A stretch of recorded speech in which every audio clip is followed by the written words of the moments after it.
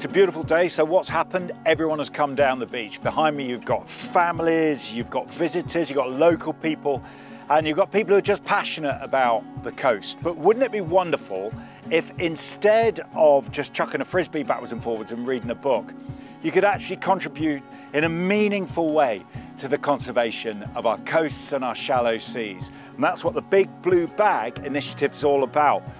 What's in this bag is four very simple sampling protocols that anyone can do.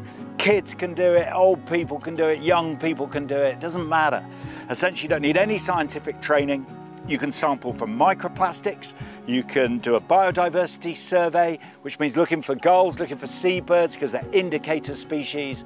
You can gather some rubbish and see how much you gather in a certain period, and you can take the water temperature. With all of that data, you can put it into an app. And that means you're contributing to the picture of our ecology right the way round the coastline.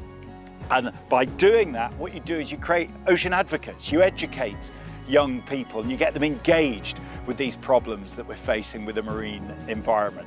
It's a system we're launching on the Isle of Man and we're hoping will soon spread right the way around the coast of the United Kingdom, uh, leading to millions of sets of data that give us a constant measure of what's happening all the way around our coastline. But we're launching it right here on the Isle of Man because of the close connection this wonderful place has with the sea and because of its biosphere status.